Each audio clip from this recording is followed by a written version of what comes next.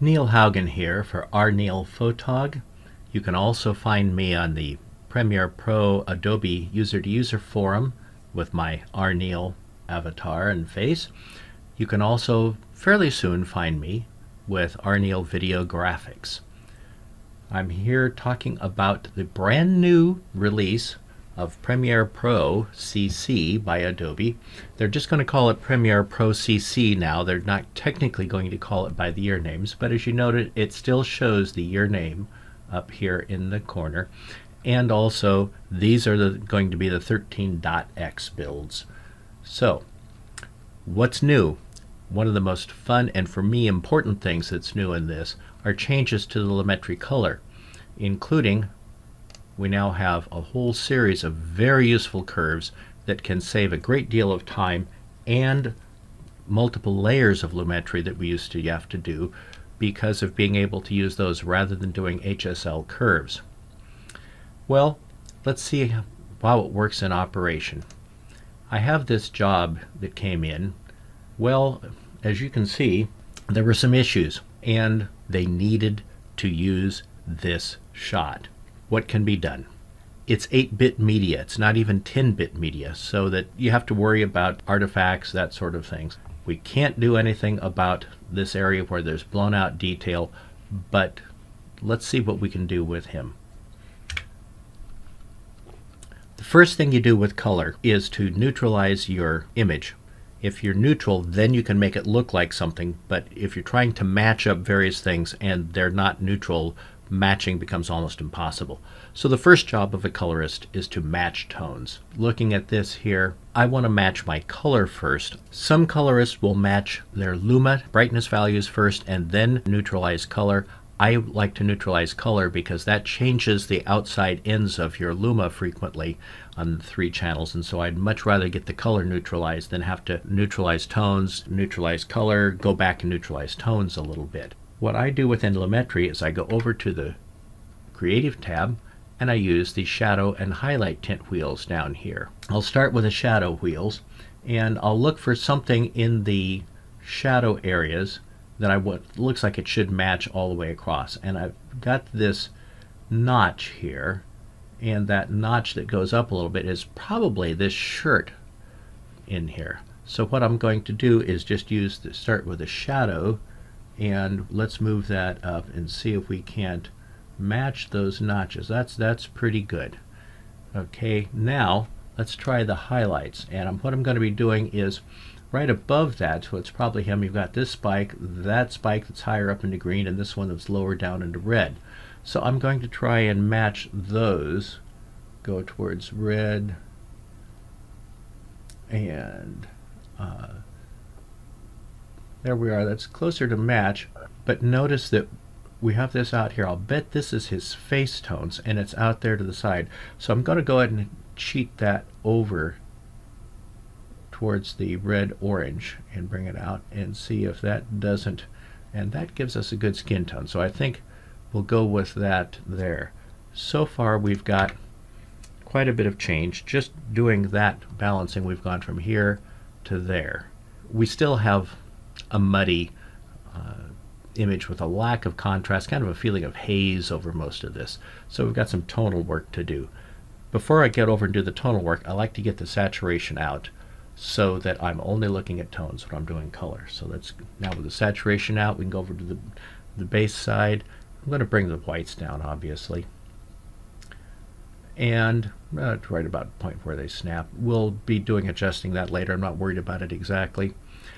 Let's bring up some contrast on, and notice that's changing the contrast on his face. I'm going to bring the highlights up a little bit, and although I don't use uh, blacks much, let's go ahead and take the shadows down. There, I think that's a lot better yeah, and looking at it, I think that's probably all we'll worry about there for right now. Again, we're not going for perfect. We just want to get much better. And again, going to full screen, yeah, that's definitely an improvement. Okay, now we want to move on. We have some color problems here. Look at, we have some excursions way out there compared to the skin area. Those are really taking attention and also wasting time and and uh, the, some of this is probably in the skin because he's got some yellow and some red tones in his skin and we want to try and see if we can unify that. So let's go over to the new curves area and all these sweet new curves. The circle I used to have for just general color uh, intensity saturation is now just a box like the rest of these. Let's sample a skin tone and start work. Slide that over so it's got a bit more view now that is probably pretty close to right along the skin tone line there and that's maybe some of these red ones but we've got all this area over here we need to work at. So I'll go ahead and make some number of points over on the line clear over in through the cyan area so let's see this is probably a skin wow notice when I click that you see we have the bright orange at the top and the faded out to nothing that's showing that what we're doing is up is more saturated, down is less saturated. So see if you look at the skin tone line right here and watch this while I move the saturation here and up and I'm moving that area out. So we move that out just a little bit to saturate that. Now this stuff off here in the yellows. Let's see what we get here. Okay, that's some of it. But let's get, okay, oh, that's out there nicely and maybe we can come back here at another point pull a little bit more of this in I really like that uh, now let's come over here oh yeah we're pulling we're pulling that in nicely now so we've it, it's a little bit more filling around volume there I like the shape of that better and it's looking better to the eye We've even neutralized quite a bit these posts back there doing that.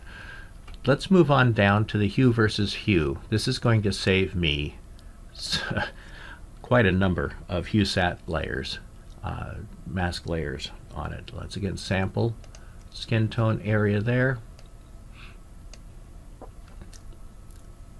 Going to add an outlier here. What we're going to do with this is these are the red tones of his skin. And you see when I click on it below, if I pull it down, I go into orange. I could go towards red or magenta if I go up. And watch, see the tones up in here? As I pull this down, those will come closer to that skin tone line. These are the yellow ones in this area over in here. And watch what happens when I push that up. And those go over and line up with the skin tones that is practically magical work and it really improves the skin color. Let's go down now to Hue versus Luma. He's still actually got almost too much saturation and I'd like the face to be a little brighter and that's really easy to handle here. I'll come back, I'll sample his face again and put this into an area where I can work at it. Let's again add a couple more outliers out here. And notice when I click this time, you have color below and you have brightness above. I'm going to lift a little bit and we're trading a little bit of chroma, a little bit of color detail or information for brightness.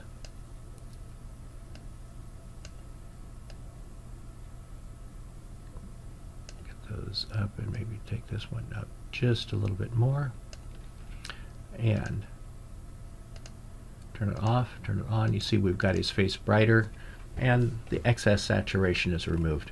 Another one that can save me HSLs. Human eyes and film all rolled off saturation in the shadows, in the dark areas, and in the highlights. Video keeps it a lot more than film or the human eye. So to give a more natural look, and one we're more used to from having done, been done in film, set a point about a third of the way in from the bottom. This is the dark areas, this is the bright areas, and this is saturation down, saturation up. I just pulled saturation down in the shadow areas of the shirt, and I pulled it down in the highest area so that it smooths it out in the upper areas. So, where have we come? We have gone from that to this. it's looking a lot better, but you know, there's still a lot of detail in his eyes. And actually looking at this, it'd be nice if we could go a little sharper, wouldn't it? Well, we can. Let's go back to the creative and let's just go ahead and increase sharpness. And let's bring his face up. I want to see that shirt. So we'll do 50%. Bring it over here. Let's watch that shirt as I work with the sharpness. Oh yeah, that is much better there. The lines on his shirt are really starting to pop now. Bring it up and I'm going to bring vibrance up just a little bit too to bring the lower saturated parts of the skin up. Okay, now much better, but I still want to bring his eyes up here. There is another new feature in Lumetri this time, and that is, notice this little drop down. I can add a Lumetri effect, I can rename. Well, let's rename this and call this base. And then let's add a Lumetri color effect, and I'm going to rename that and call it eyes. So now on this next layer of Lumetri, let's work on the eyes. Coming over here to the effects control panel and then down to the Lumetri layer eyes I have a mask option of free draw Bezier. I can set points. So let's bring him back up to 50% monitor so that we can see his face well and right about where the tone starts changing on his nose and then set a point out here and I'm going to set points put a mask around this dark area around his eyes going to come down and immediately just raise the feather. See that dotted line on the outside edge is going out now to about his hair. We want to make sure we don't really see this. So uh, make sure you got a, you know, a good sized feather on that. Now, come back over to, to Lumetri color, but we still see the mask, right? Just click over there clip back here on the clip and it's gone and we don't see the mask we see the effect of the mask. So what we want to do is lift the eyes. We can go to the basic correction. You can do this in color wheels. I'll just do it in the basic correction.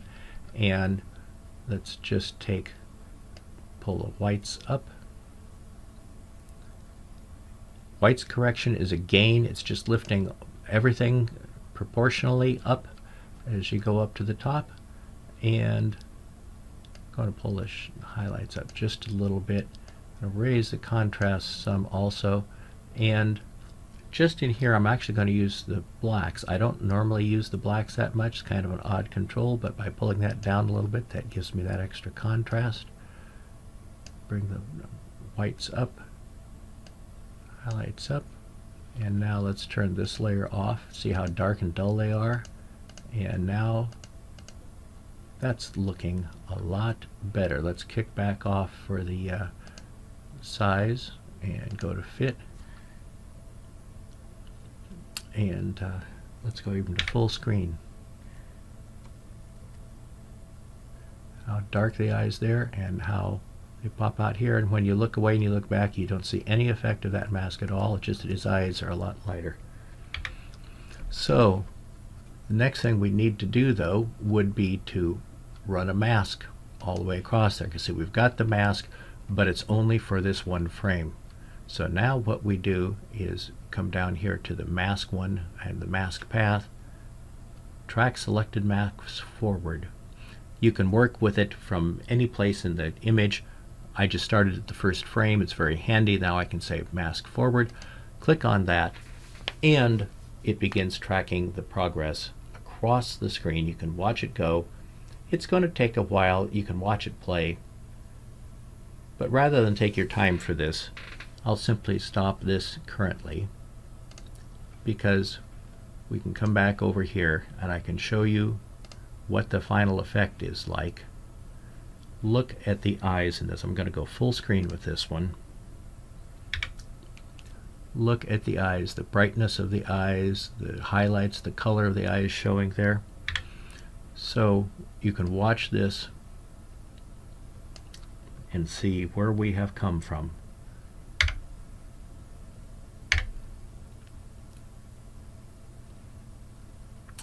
vastly improved from what we were at the beginning. That's what you can do in the new Lumetri Pro just using the basic correction, creative, and the curves. We didn't even go into color wheels or any of the other HSL or any of the others. That's just this. I've timed it. I can do this correction when I'm not talking about it in five and a half minutes. So it's a wonderful, wonderful uplift to the capabilities of Lumetri. I hope you enjoy it as much as I know I'm going to. Neil Haugen, rneilphotog.com, and soon to be rNeil Videographics. Hope you enjoy this. Catch you next time.